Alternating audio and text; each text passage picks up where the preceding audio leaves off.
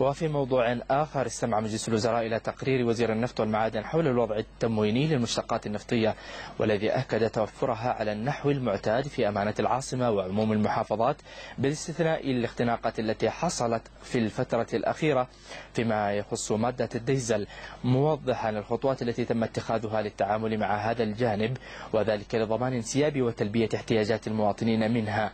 مشيرا إلى الأسباب والعوامل التي أدت إلى تلك الاختناقات والتي أكد أنها ستزول خلال الساعات القادمة. المجلس ناقش أيضا مسودة مشروعي عقد إنشاء وتطوير وتشغيل واستثمار المنطقة الصناعية بعدن وهي منطقة العلم والمنطقة الصناعية بالحديدة بنظام الإيجار طويل الأمد والموقع من شركتي عدن لتطوير المناطق الصناعية المحدودة وتهامى لتطوير وتشغيل المنطقة الصناعية بالحديدة.